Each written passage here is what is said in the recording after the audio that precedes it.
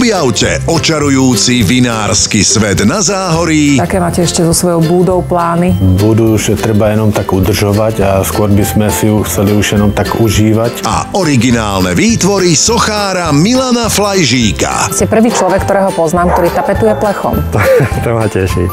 Na chalupe. V nedeľu o 16.50 na Jojke.